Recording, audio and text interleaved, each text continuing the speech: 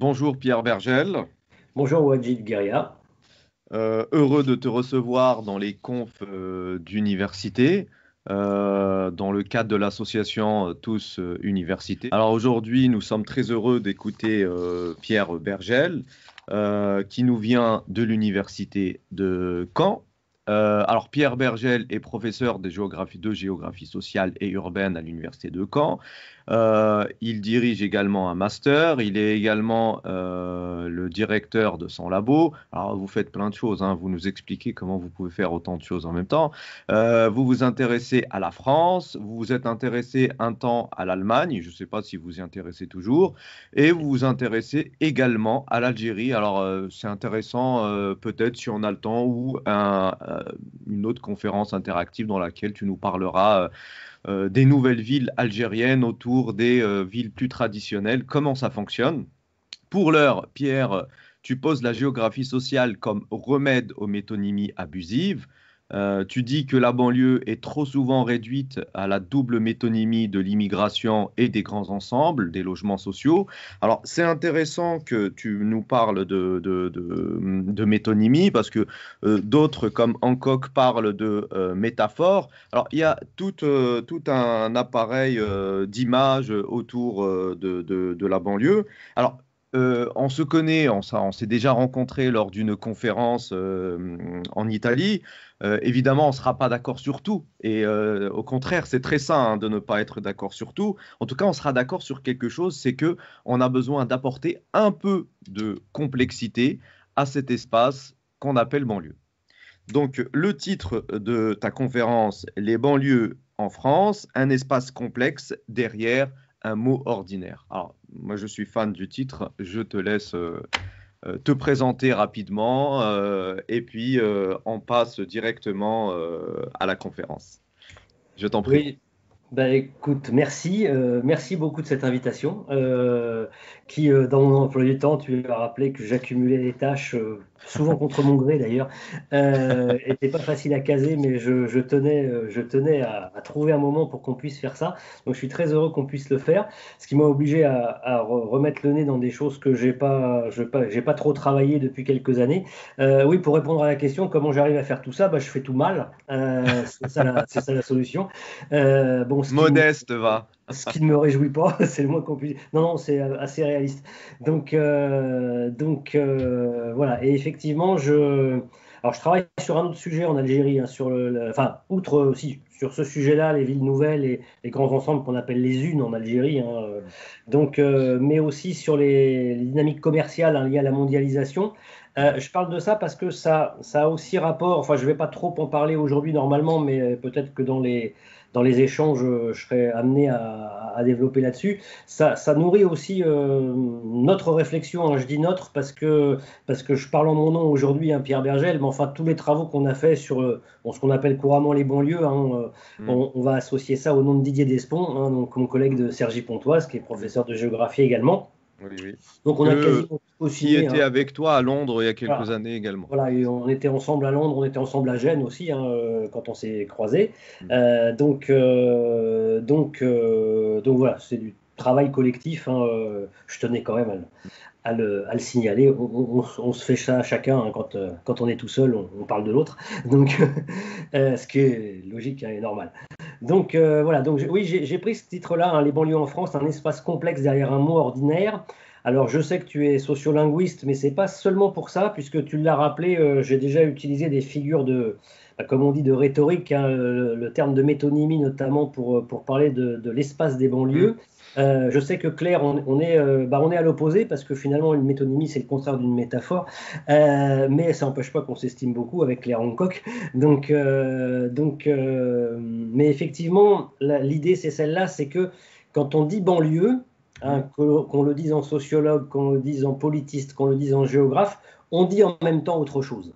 Hein, euh, c'est bien l'idée d'un déplacement du temps. Ce qui, ce qui, est intéressant, c'est que qu'on soit dans la métonymie ou dans une autre image, c'est qu'il y a, y a, tout un jeu de langage et quelquefois les jeux de langage peuvent cacher euh, des enjeux Euh, ça me fait penser rapidement à une citation d'un grand socialiste qui disait quand on peut pas changer les choses, on change les mots. Donc voilà, on est toujours autour du mot et euh, donc euh, voilà, c'est pour ça que j'ai attiré l'attention sur la citation d'Hancock.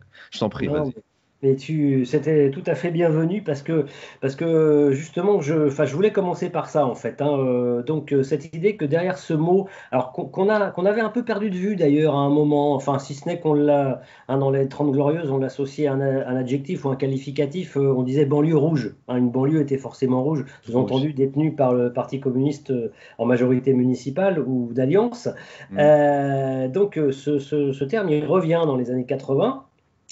Et euh, il paraît évident à tout le monde, hein, puisqu'on l'emploie dans le, dans le, vocabulaire courant.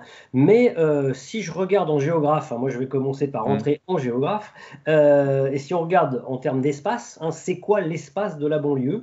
Et les ennuis commencent, si je puis dire, parce que parce qu'on n'est pas dans un espace simple. Et historiquement et génétiquement, si je puis dire, on est dans un espace d'entre-deux. la banlieue, c'est en dehors de la ville, mais c'est pas vraiment la campagne. C'est cette espèce d'espace comme mmh. disait Georges Perec, euh, qui est un espace intermédiaire, un espace d'entre-deux, alors qui est à la fois euh, la ville et la campagne, hein, qui, mmh. qui, est peut-être encore la ville, qui n'est pas encore tout à fait la campagne, mais un peu quand même. Est-ce que c'est un troisième espace, totalement différent des deux autres? Alors totalement non, mais différent, spécifique. Hein, c'est un peu tout, toutes ces questions-là, mmh. alors qui ont longtemps été cruciales en France, enfin comme dans d'autres pays, parce qu'il ne faut pas oublier en France que jusqu'au milieu du XXe siècle, sociétés rurales et sociétés urbaines sont très différentes. Hein, c'est mmh. vraiment très récemment que cette que cette euh, acculturation, on pourrait dire, entre les deux types de sociétés, euh, euh, c'est faite à, grande vitesse d'ailleurs.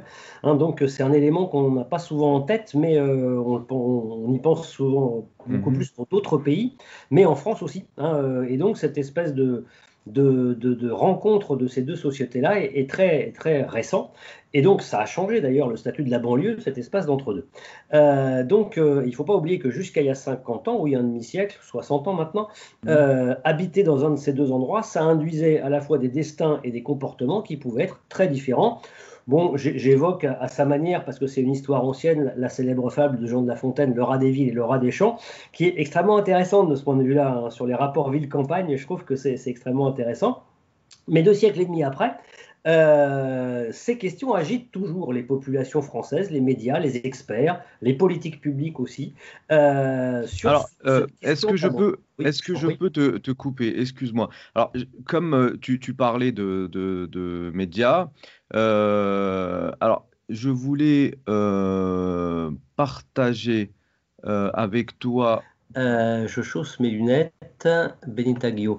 Au sens propre, le ghetto désigne le quartier que l'on imposait aux Juifs dans l'Europe de la Renaissance, c'est alors par extension le lieu où une minorité ethnique hein, euh, est contrainte à vivre séparée du reste de la population. Mais pour plus parler de ghetto il faut les caractéristiques suivantes hein. le resserrement géographique, l'uniformité ethnique et culturelle, la contrainte socio-économique, l'absence de l'intervention étatique, la stigmatisation de ses habitants et la constitution d'une micro-société interne.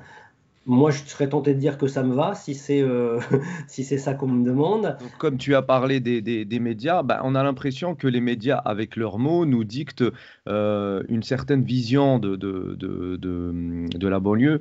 Et comme il y a une, une, une volonté, alors peut-être euh, imposée par le métier de simplifier, est-ce que tu es d'accord avec cette vision de la banlieue intrinsèquement mélangée avec ce qu'on appelle le ghetto historiquement? Et justement, pour ça, euh, avec, euh, j'arrive pas à me souvenir du nom de ce sociologue, excuse-moi, euh, élève de Pierre Bourdieu qui a fait sa thèse avec lui, hein, qui a créé un bouquin dans les années 2004. alors il compare la Seine-Saint-Denis et puis le, les banlieues de Chicago.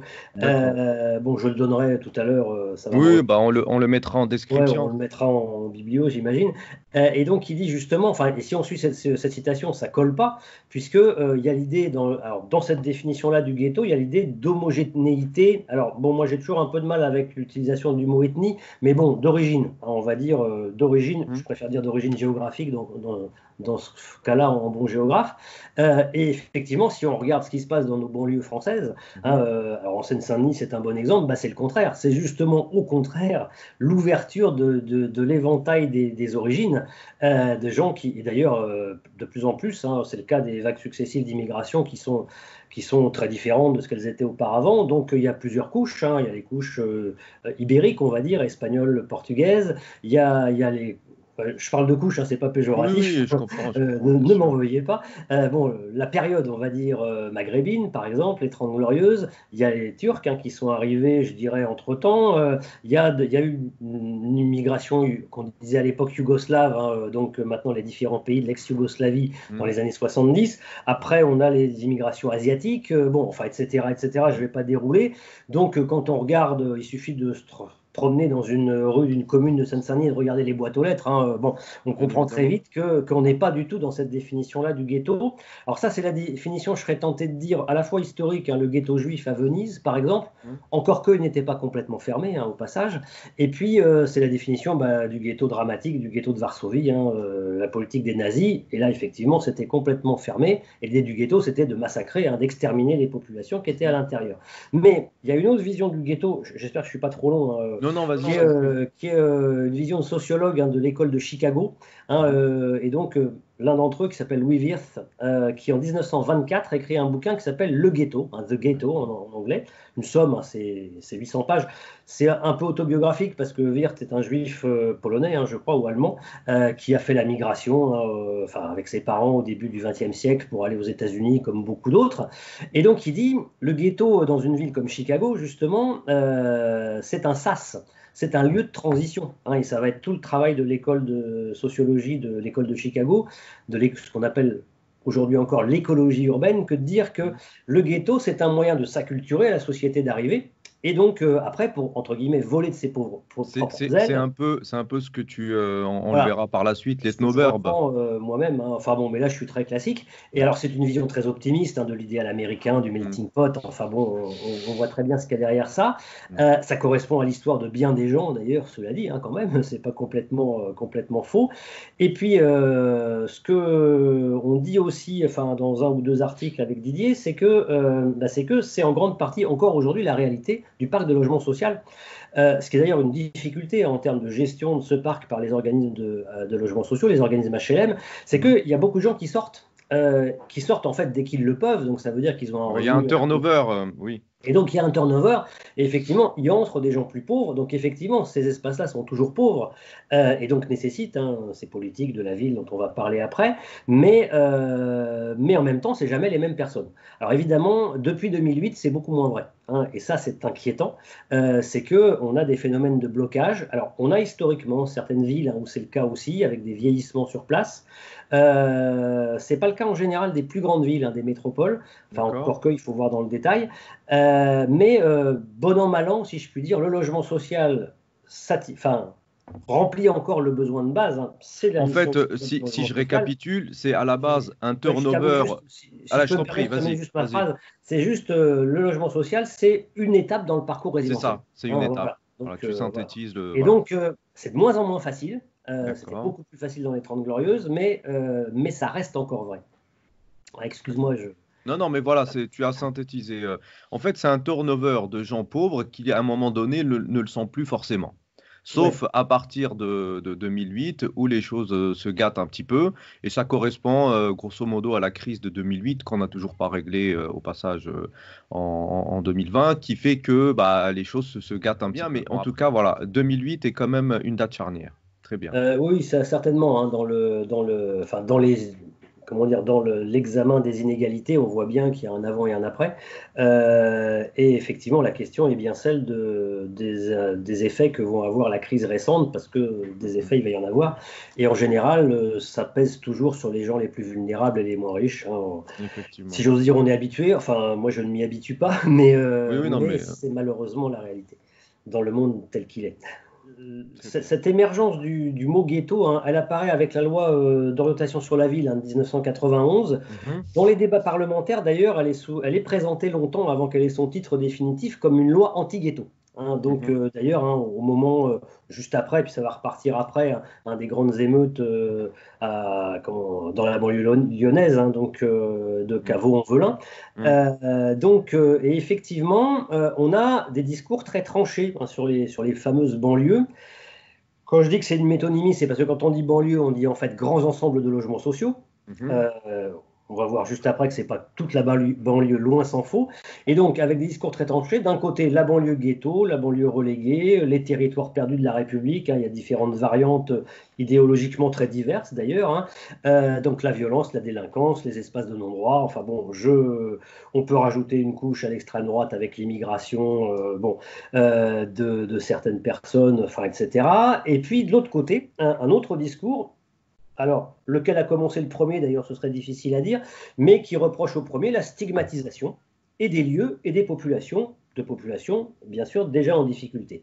Et donc euh, là, on peut avoir euh, des discours, hein, qui est souvent le discours officiel de la politique de la ville, de banlieues dynamiques, pleines de créativité, qui profitent de la diversité des populations, un des réservoirs d'initiatives, enfin, euh, donc il y a des différents programmes officiels, hein, initiatives banlieue, enfin des choses comme ça, mmh. ce qui est vrai aussi, enfin qui est vrai, voilà. Qui peut l'être, ce qui peut l'être par moment. Ce qui peut l'être parfois, et, donc, et donc on a des discours très tranchés comme ça, qui, si je puis dire, prolonge hein, cet état d'incertitude que je relevais au début. La banlieue, l'espace de la banlieue est un espace incertain, euh, historiquement. Hein, et c'est drôle de voir que sur la longue durée, euh, cette incertitude demeure, s'exprime très différemment, mmh. euh, mais qu'elle demeure en tout cas.